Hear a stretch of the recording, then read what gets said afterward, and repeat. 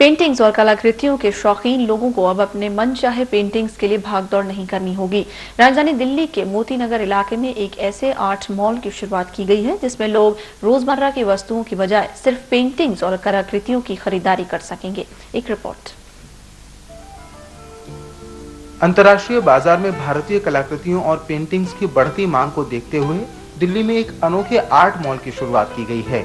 अपने आप में अद्भुत इस मॉल में मानवीय सरोकारों और संवेदनाओं को चित्रित करने वाली एक से बढ़कर एक पेंटिंग्स और कलाकृतियाँ मौजूद हैं, जो लोगों को अपनी ओर आकर्षित कर रही हैं।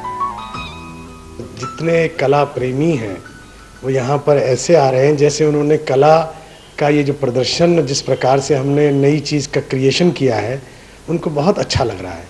तो बहुत अच्छी शुरुआत है, और शुरुआत ही नहीं, ये एक नई श्रृंखला, एक नई दिशा है कला के प्रति। प्रेम और वात्सल्य को दर्शाती इन कलाकृतियों को तैयार करने वाले तकरीबन 200 कलाकारों को एक व्यापक मंच मिलने की संभावना है।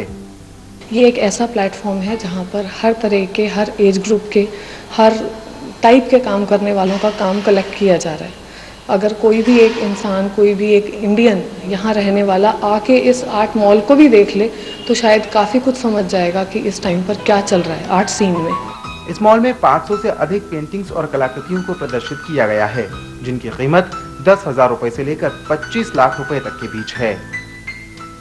देश के अलग अलग हिस्सों के अलग अलग कलाकारों ने इन कलाकृतियों में जीवन के अनेक रंग भरने की कोशिश की है, जो हमें जीवन की वास्तविकताओं से सीधा संपर्क कराते हैं। Rajesh Raj D news, Delhi.